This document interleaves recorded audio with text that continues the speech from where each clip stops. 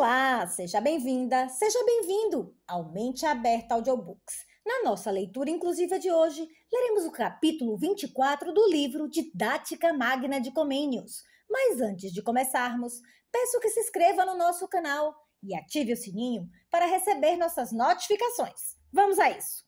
Capítulo 24 Método para incutir a piedade. Se o espírito de piedade se pode ensinar metodicamente como uma arte. 1. Um, embora a piedade seja um dom de Deus e seja dada pelo céu, por obra e graça do Espírito Santo, uma vez, porém, que este ordinariamente opera através dos meios ordinários e assim escolhe para seus ministros os pais, os professores e os sacerdotes, que com cuidado fiel devem plantar e regar as arvorezinhas do paraíso. Coríntios 1, 3, 6, 8. É justo que estes entendam a razão do seu ofício. Que se entende por piedade? 2. Que significa para nós a palavra piedade? Já o mostramos atrás. Isto é, que o nosso coração, depois de embebido de um sentimento reto em matéria de fé e de religião, saiba por toda a parte procurar Deus, a quem a Sagrada Escritura chama Rei Escondido, Isaías 45,15, e Rei Invisível, Hebreus 2,27. Isto é, aquele que se cobre com o véu das suas obras e estando presente invisivelmente em todas as coisas visíveis, invisivelmente as rege. E tendo-o encontrado, saiba segui-lo por toda a parte, e tendo chegado até ele, saiba gozá-lo para sempre. Três coisas. Um, dois, três.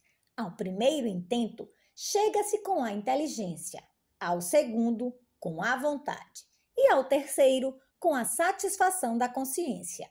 Significado destas três coisas: 3. Procuramos Deus, observando através de toda a criação os vestígios da divindade. Seguimos Deus, entregando-nos inteiramente e em todas as coisas à sua vontade, tanto para fazer como para sofrer tudo o que lhe agradar.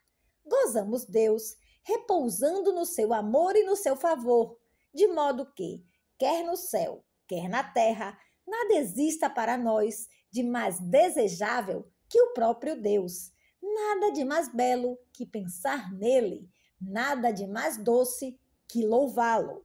E com tal intensidade que o nosso coração arda de amor por ele. Três fontes e, consequentemente, três graus de beber. 4.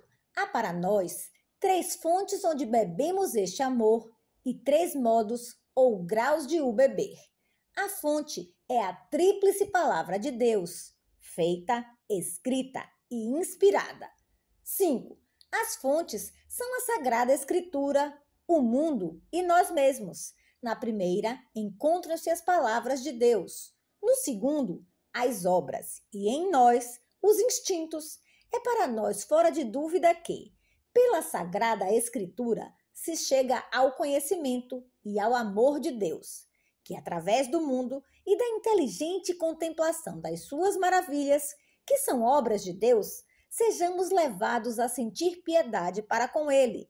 Dão-nos disso testemunho até os pagãos, os quais apenas a partir da contemplação do mundo foram levados à veneração da divindade, como é evidente pelo exemplo de Sócrates, de Platão, de Epíteto, de Sêneca e de outros embora aquele seu sentimento de amor fosse imperfeito e se desviasse do seu objetivo, pois então os homens não eram ajudados por uma especial revelação divina, mas que aqueles que se esforçam por atingir o conhecimento de Deus, através da sua palavra e das suas obras, se inflamam de um amor ardentíssimo, é evidente pelo exemplo de Job, de Eliú, de Davi e de outras almas piedosas. E neste momento, convém observar a particular providência de Deus para conosco, o modo maravilhoso como nos formou, nos conservou até agora e nos governa, como mostram com o seu exemplo Davi, Salmo 139 e Jó, capítulo 10. Tríplice modo de beber nas três fontes. 6. O modo de auir a piedade destas três fontes é tríplice: a meditação, a oração e a tentação. O eminente Lutero disse que essas três coisas fazem teólogo, mas também o cristão em geral. Só estas três coisas o podem fazer. 1. Um, meditação. 7. A meditação é a consideração frequente, atenta e devota das obras, das palavras e dos benefícios de Deus, e de como tudo provém de Deus, que opera ou permite, e de como, por caminhos maravilhosos, todos os desígnios da vontade divina são exatamente realizados. 2. Oração. 8. A oração é a frequente e, de certo modo, contínua aspiração para Deus e a imploração da sua misericórdia para que nos conserve e nos governe com o seu espírito. 3. Tentação. 9. Finalmente, a tentação é a frequente exploração do nosso progresso na piedade, quer seja feita por nós próprios, quer seja feita por outros, e aqui, a seu modo, pertencem às tentações humanas, diabólicas e divinas. Com efeito, o homem deve tentar-se constantemente a si mesmo para ver se tem fé. Coríntios 2, 13 e 5. E para ver com que solicitude faz a vontade de Deus e tem necessidade de ser posto à prova pelos homens, amigos e inimigos. Isto acontece quando aqueles que presidem devotamente aos outros se põem a explorar, com vigilante atenção e com investigações abertas ou ocultas, os progressos realizados. E quando Deus nos coloca ao lado um adversário que nos ensine a refugiarmos-nos em Deus e nos mostre qual a força da fé que em nós existe. Finalmente, Deus costuma lançar também o próprio Satanás, ou até ele mesmo, insurgir-se contra o homem, para que se manifeste o que se encontra no seu coração. Todas estas coisas, portanto, devem ser incutidas na juventude cristã, para que ela se habitue a elevar-se para Deus através de tudo o que existe, de tudo o que acontece e de tudo o que virá a acontecer, e a procurar a paz da alma somente naquele que é a primeira e a mais perfeita de todas as coisas. O método da piedade encerra-se em 21 cânones. 11. O método especial para ensinar as coisas que dizem respeito à piedade está contido nos 21 cânones seguintes. 1. 1. O cuidado para incutir a piedade comece nos primeiros anos da infância. Deve começar-se nos primeiros anos da infância, tanto porque não adiar tal cuidado é útil, como porque adiá-lo é perigoso. A própria razão nos mostra que as primeiras coisas devem ser feitas primeiro, e as melhores melhor. E que coisa pode estar primeiro ou é melhor que a piedade? Sem ela, qualquer outra atividade serve para pouco, ao passo que ela tem as promessas da vida presente e da vida futura. Timóteo 1, 4, 8. Uma só coisa é necessária. Lucas 10, 42. Procurar o reino de Deus, pois a quem se preocupa com isso, tudo o resto lhe será dado por acréscimo. Mateus 6,33. É perigoso adiá-lo, pois, se os ânimos se não embebem do amor de Deus, quando são ainda tenros, facilmente na vida prática, vivida durante algum tempo sem respeito pela divindade, se insinuam tácito desprezo pela mesma divindade e um espírito profano, que depois, só com muita dificuldade se arrancam e, em certos casos, nunca mais é possível arrancar. Por isso, um profeta, lamentando o horrendo dilúvio de impiedade que havia invadido o seu povo, disse que já não havia ninguém a quem Deus ensinasse, a não ser aos meninos acabados de desquitar, aos que acabam de ser desmamados. Isaías 28, 9. Acerca dos outros, um outro profeta disse que não podem corrigir-se de modo a praticarem o bem, pois estão acostumados a fazer o mal. Jeremias 13, 23. 2.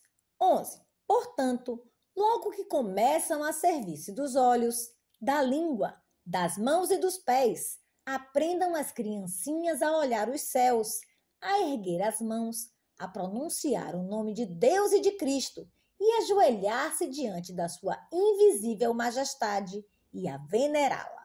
As criancinhas não são tão incapazes de aprender estas coisas como imaginam aqueles que, não atendendo a quanto é necessário fugir de Satanás, do mundo e nós mesmos, ministram um ensino de tamanha importância com grande negligência. Embora, a princípio, as crianças, uma vez que têm o uso da razão débil, não entendam bem o que significam aqueles atos religiosos, todavia, é de primária importância que saibam que devem fazer aquilo que, precisamente pela prática, aprendem que devem fazer.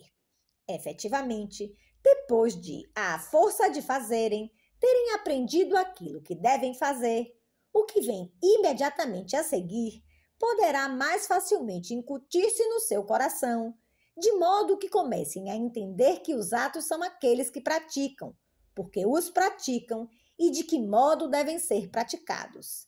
Deus ordenou, por meio de uma lei, que todas as primícias lhe fossem consagradas. Por que é que então, se lhe não hão de consagrar as primícias dos nossos pensamentos, das nossas palavras balbuciadas, dos nossos movimentos e ações.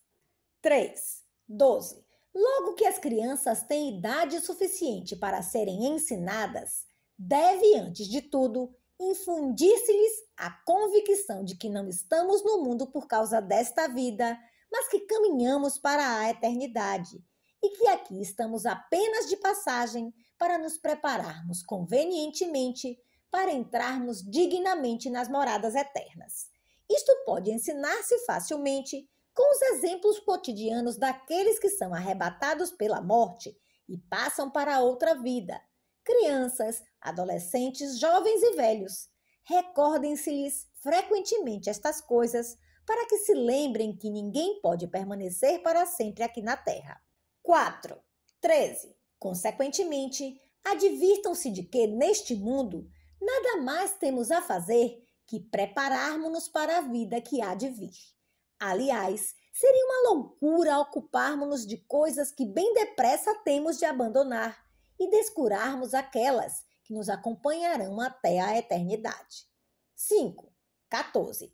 Ensine-se ainda às crianças que há duas espécies de vida para onde emigram os homens, uma feliz com Deus e outra infeliz no inferno, e ambas são eternas. Ensine-se isto com o exemplo de Lázaro e do ricaço, cujas almas foram levadas, a do primeiro pelos anjos para o céu, a do segundo pelos demônios para o inferno. 6. 15. Ensine-se-lhes, pois que são felizes mil vezes felizes aqueles que na terra regulam a sua vida de modo a serem considerados dignos de passarem para o seio de Deus. Efetivamente, fora de Deus, fonte de luz e de vida, não há senão trevas, horrores, tormentos e morte perpétua, sem fim, de modo que teria sido melhor não terem nascido aqueles que virão a afastar-se de Deus e a precipitar-se no precipício da ruína eterna. 7. 16. Que passarão para o seio de Deus todos aqueles que, neste mundo, caminham com Deus, como Enoque e Elias, ambos ainda em vida, os outros depois da morte. Gênesis 5, 24, etc. 8. 17. Que caminham com Deus aqueles que o têm diante dos olhos, o temem e observam os seus mandamentos. E isto é o essencial do homem. Toto Omnis, Eclesiastes 12, 13 aquilo que Cristo disse ser a única coisa necessária. Lucas 10:42. Ensinem-se todos os cristãos a ter sempre na boca e no coração esta verdade, a fim de que, com Marta, não se preocupem demasiado com os cuidados desta vida. 9. 18. Portanto, tudo aquilo que as crianças veem, ouvem, tocam, fazem e sofrem, habituem-se a referi-lo a Deus, imediatamente ou mediatamente.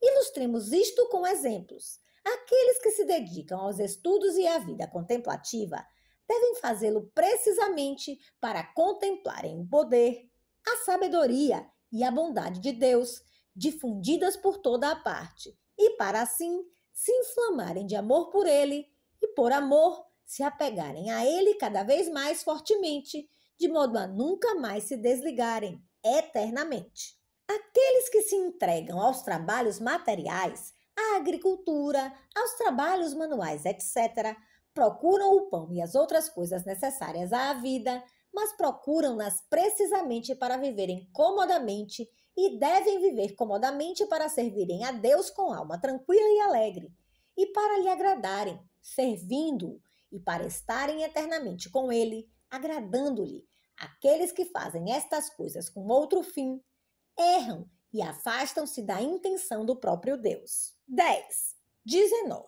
Aprendam, pois, desde o princípio da vida, a ocuparem-se o mais que possam nas coisas que conduzem imediatamente a Deus, na leitura das Sagradas Escrituras, nos exercícios do culto divino e nas boas obras corporais. Efetivamente, a leitura das Sagradas Escrituras excita e reaviva a recordação de Deus. O exercício do culto divino coloca Deus diante do homem e une-o a ele. As boas obras reforçam esta união, porque mostram-nos que verdadeiramente caminhamos pelos caminhos ensinados por Deus. Estas três práticas religiosas devem recomendar-se seriamente a todos os candidatos a uma vida piedosa. Quais são todos os jovens cristãos consagrados a Deus pelo batismo? 11. 20. Por isso, que a Sagrada Escritura seja nas escolas cristãs o Alfa e o Ômega. Hipérios disse que o teólogo nasce na Escritura, e nós vemos que o apóstolo São Pedro estendeu muito mais a eficácia dos livros sagrados, dizendo que os filhos de Deus nascem de uma semente incorruptível pela palavra do Deus vivo que permanece eternamente. Pedro 1, 1, 23.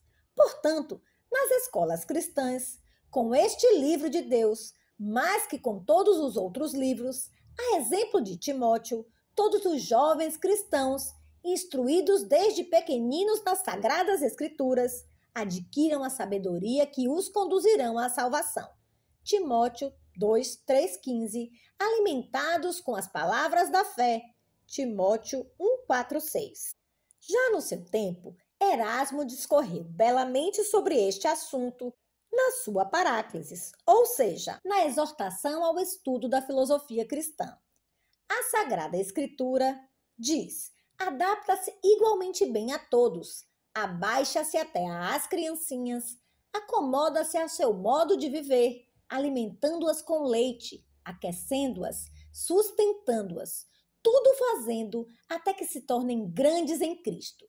E, entretanto, assiste de tal maneira aos mais pequenos que é admirável mesmo para os maiores. Com os pequenos é pequena, com os grandes é mais que grande. Não rejeita nenhuma idade, nenhum sexo, nenhuma fortuna, nenhuma condição. O sol, portanto, não é tão comum e tão fruível por todos como a doutrina de Cristo. Não repele absolutamente ninguém, a não ser que esse mesmo se repila a si, odiando-se a si próprio, etc. E acrescenta: provera a Deus que a Bíblia fosse traduzida em todas as línguas de todos os povos, para que pudesse ser lida e conhecida não só pelos escoceses e pelos irlandeses, mas também pelos turcos e pelos sarracenos. Poderia acontecer que muitos se rissem, mas alguns ficariam encantados. Oxalá os camponeses, a rabiça do arado, cantem alguns versículos. Oxalá os tecelões acompanhem qualquer trecho ao som da lançadeira. Oxalá o viajante suavize a dureza do caminho com as narrações bíblicas e que todas as conversas dos cristãos sejam sobre temas da Bíblia. Com efeito, nós somos aquilo que forem as nossas conversas cotidianas. Cada um chegue onde pode, cada um diga o que pode. Quem vem atrás não inveja aquele que vai à frente. Aquele que está em primeiro lugar encoraje o que o segue e não o despreze.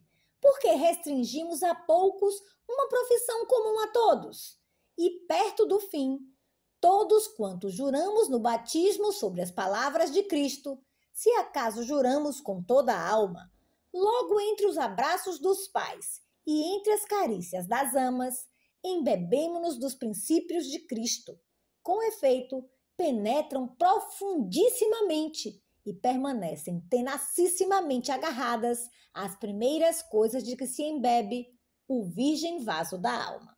Que a primeira palavra que se aprenda a balbuciar seja Cristo e que, com os seus evangelhos, se forme a primeira infância.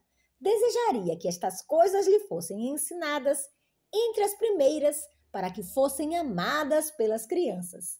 Dediquem-se depois as crianças aos estudos bíblicos, até que, com tácitos progressos, se transformem em homens robustos em Cristo.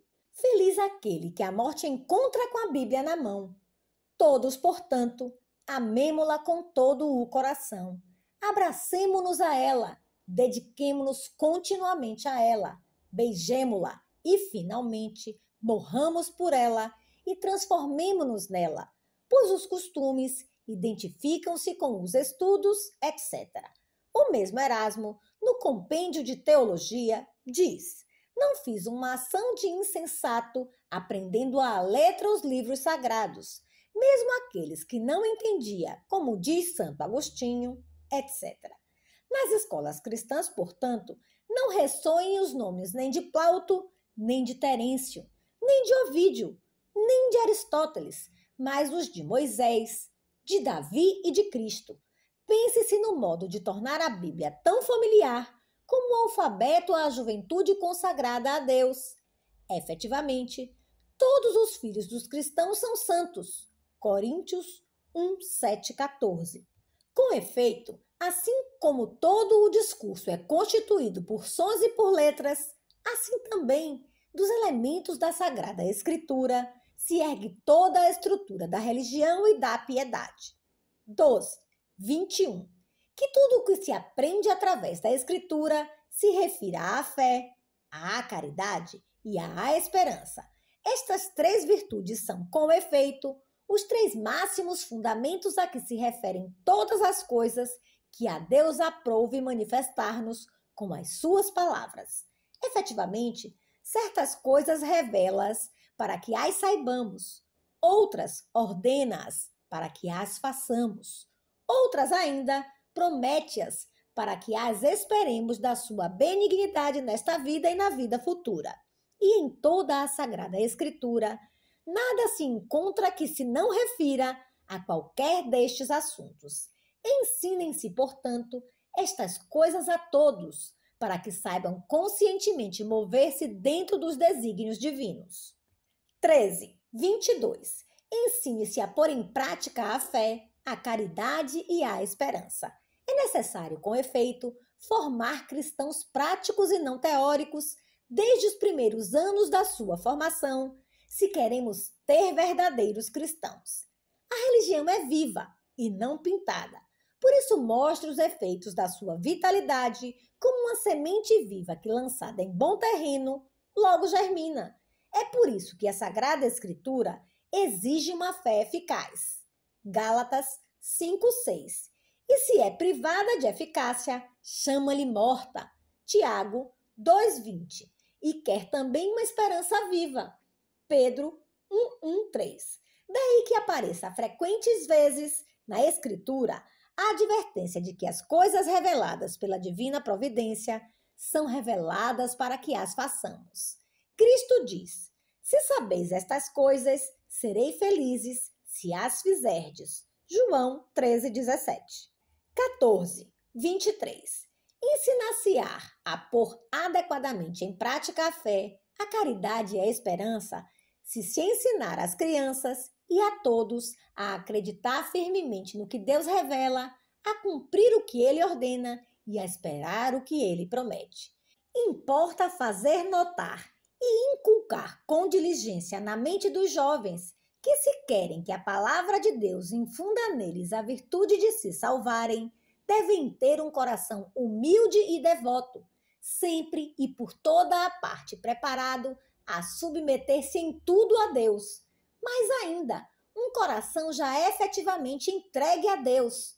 Com efeito, assim como o sol, com a sua luz, nada revela a quem não quer abrir os olhos, e os alimentos colocados sobre a mesa não saciam aquele que se recusa a comer, assim também a luz divina, ministrada à nossa mente e às normas dadas às nossas ações e a beatitude prometida às pessoas tementes a Deus serão vãs se as não abraçarmos com fé pronta, com caridade ardente e com esperança firme. Desta maneira, Abraão, pai dos crentes, tendo fé nas palavras de Deus, acreditava mesmo em coisas incríveis para a razão humana. E cumprindo as ordens de Deus, fazia coisas duríssimas para o seu coração, como foi deixar a pátria, sacrificar o filho, etc. E forte com as promessas de Deus, esperavam onde não havia motivo para esperar. Todavia, esta fé viva e eficaz foi-lhe justamente tida em consideração. E assim importa ensinar a todos aqueles que se entregam a Deus a fazer a experiência desta regra em si mesmos e a observá-la constantemente.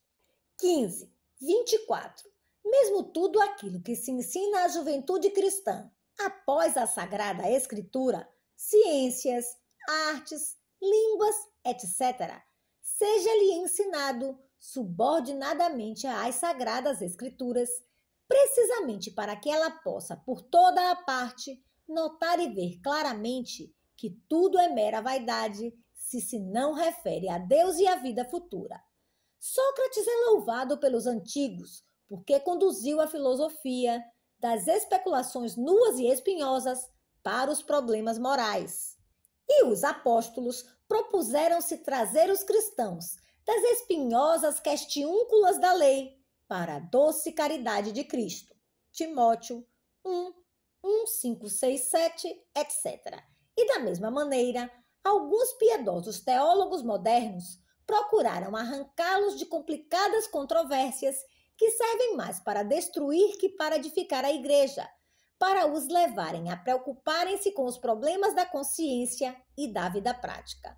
Oh, que Deus, tendo misericórdia de nós, nos faça encontrar um modo e um método geral capaz de nos ensinar a voltar para Deus todas as coisas que estão fora de Deus e de que se ocupa a inteligência humana, e a voltar para o estudo das coisas celestes, todas as ocupações desta vida, nas quais se embaraça e se imerge o mundo. Assim teríamos uma espécie de escada sagrada, pela qual, mediante todas as coisas que existem e que se fazem, as nossas mentes subiriam, sem obstáculo, até ao supremo e eterno Senhor de todas as coisas, fonte da verdadeira felicidade. 16. 25. Ensine-se a todos a assistir religiosamente ao culto divino, tanto interno como externo, para que o culto interno, sem o externo, não arrefeça, e o externo, sem o interno, não degenere em hipocrisia. O culto externo de Deus consiste em falar de Deus, em pregar e ouvir a sua palavra, em adorá-lo de joelhos, em cantar hinos de louvor, em frequentar os sacramentos e em observar os outros ritos sagrados, públicos e privados. Por sua vez, o culto interno de Deus consiste em pensar continuamente que Deus está presente, em temer e em amar a Deus, em renunciarmos a nós mesmos e em entregarmos-nos nas mãos de Deus, ou seja, na vontade pronta de fazer e de sofrer tudo o que agrada a Deus. Estes dois cultos devem juntar-se e não separar-se, não somente porque é justo que Deus seja glorificado pelo nosso corpo e pelo nosso espírito que lhe pertencem, Coríntios 1, 6, 20, mas também porque os não podemos separar sem os perigos. Com efeito, Deus abomina os ritos externos, sem verdade interna. Quem pediu tais ofertas às vossas mãos? Etc.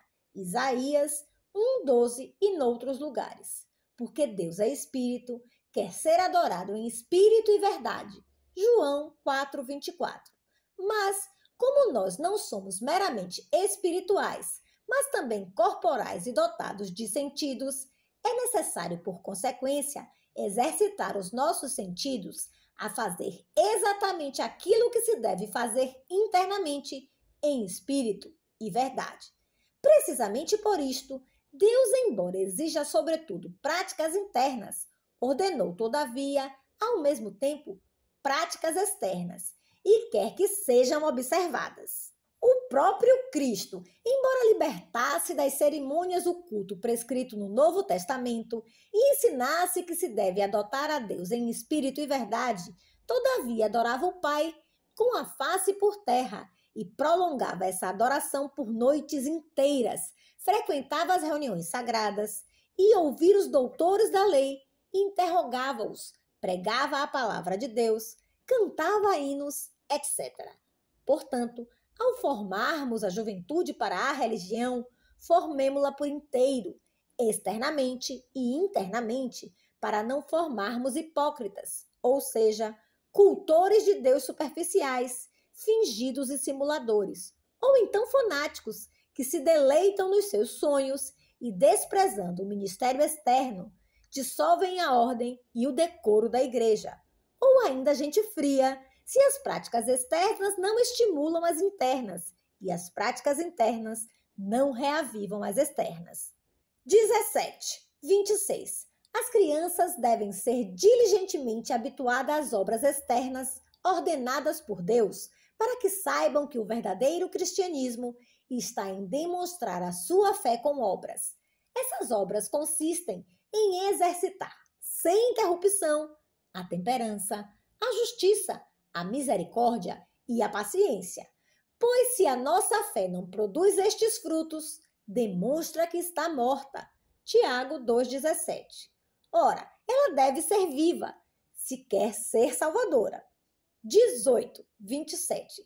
Ensine-lhes também a distinguir acuradamente os fins dos benefícios e das condenações de Deus, para que saibam fazer bom uso de todas as coisas e não façam mau uso de nada. Fulgêncio, carta 2 a Gala, divide os benefícios de Deus em três espécies.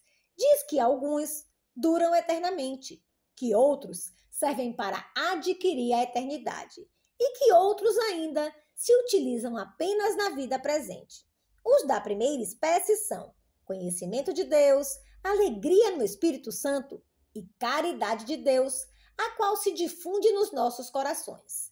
Da segunda espécie são a fé, a esperança e a misericórdia para com o próximo. Da terceira espécie são a saúde, as riquezas, os amigos e outros bens exteriores que, por si mesmos, não nos tornam nem felizes nem infelizes. Do mesmo modo, ensine-se que as condenações de Deus, isto é, os seus castigos, são de três espécies. Alguns, aos quais Deus estabeleceu poupar eternamente, são castigados neste mundo e transportam a sua cruz para que se tornem puros e brancos. Daniel 11:35, Apocalipse 7:14, como Lázaro, Outros são poupados neste mundo para serem castigados eternamente, como o rico comilão. Os sofrimentos de outros começam aqui na terra para serem prolongados eternamente, como os de Saul, de Antíoco, de Herodes, de Judas e de outros. Ensine-se, portanto, aos homens a distinguir todas as coisas, para que não aconteça que, enganados pelos bens sensíveis prefiram os bens que são apenas temporais e para que aprendam a recear não tanto os males presentes como o inferno e a temer, sobretudo, não aqueles que apenas podem atingir o corpo, mas aquele que pode não só perder o corpo, mas também levar a nossa alma para o inferno. Lucas 12, 4 e 5. 19. 28. E advirtam-se as crianças de que o caminho mais seguro da vida é o caminho da cruz e que, precisamente por isso, foi por ela que o Mestre, Cristo, saiu desta vida, o qual convidou os outros a seguirem por esse caminho e por ele conduz aqueles a quem quer melhor. O mistério da nossa salvação foi realizado na cruz, é feito de cruz, na qual é crucificado o velho Adão, para que viva o novo criado segundo Deus. Por isso, Deus castiga aqueles que ama e, por assim dizer, crucifica-os com Cristo, para depois da ressurreição os colocar à sua direita, no céu, juntamente com Cristo. E embora a palavra cruz seja a potência de Deus para salvar aqueles que acreditam, todavia, para a carne é loucura e estorvo. Coríntios 1, 1, 18. De tal maneira que é necessário inculcar muito bem nos cristãos esta verdade, para que entendam que não podem ser discípulos de Cristo se não renunciam a si mesmos, se não transportam sobre os seus ombros a cruz de Cristo. Veja-se Lucas 14, versículo 27. E se não estão preparados a seguir Deus durante toda a vida, por qualquer parte por onde Ele queira conduzi-los. 20. 29 deve providenciar-se para que, enquanto se ensinam estas coisas às crianças, não lhes seja dado nenhum exemplo em contrário. Isto é, procure-se que as crianças não ouçam nem vejam blasfêmias, perjuros, profanações do nome de Deus ou outras impiedades, mas que, para qualquer parte que se voltem, encontrem reverência pela divindade, observância da religião e pureza de consciência. E se alguma coisa acontece em contrário disto, em casa ou na escola, que notem que ela não fica impune, mas se castiga severamente, e de tal maneira que a pena infligida pelo crime de lesa divindade, sendo sempre mais dura que a pena infligida por uma ofensa cometida contra Prisciano, mostre que é que, acima de tudo e antes de tudo, se deve temer. 21. 30. Finalmente, porque na presente corrupção do mundo e da natureza, nunca progredimos tanto como devíamos. E mesmo que progridamos alguma coisa, a nossa carne depravada cai facilmente na contemplação de si mesma e na soberba espiritual. E assim, porque Deus resiste aos soberbos, a nossa salvação corre um perigo gravíssimo. Importa ensinar a tempo a todos os cristãos que os nossos bons estudos e as nossas boas obras, pela sua imperfeição, nada valem, se não vem em nossa ajuda com a sua perfeição, Cristo, o Cordeiro de Deus, que tira os pecados do mundo e no qual apenas se compraz o Pai, etc. É necessário, portanto, invocar Cristo e só nele confiar. Assim, finalmente colocamos em seguro a esperança da nossa salvação e dos nossos se a colocarmos sobre Cristo, pedra angular, o qual, assim como é o vértice de toda a perfeição na terra e no céu, assim também é o único iniciador e aperfeiçoador da nossa fé, da nossa caridade, da nossa esperança e da nossa salvação. Efetivamente, o Pai enviou Cristo do céu à terra, precisamente para que, feito Emmanuel, Deus homem, reunisse os homens e Deus e vivendo santissimamente na humanidade assumida, se apresentassem aos homens como modelo da vida divina e, morrendo inocentemente, expiasse com o sacrifício de si mesmo as culpas do mundo e com o próprio sangue lavasse os nossos pecados. E, enfim, ressuscitando, mostrasse que a morte fora vencida com a morte e subindo ao céu e de lá enviando o Espírito Santo, penhor da nossa salvação, e, mediante o mesmo Espírito, habitasse em nós como templos seus e nos regesse e nos guardasse para a salvação, enquanto lutamos aqui na terra, e depois nos ressuscitasse e levasse para si, para que, onde Ele está, estejamos também nós e contemplemos a sua glória, etc. 31. A este único Salvador de todos os homens, com o Pai e o Espírito Santo, seja dado eterno louvor, honra, bênção e glória por todos os séculos dos séculos. Amém.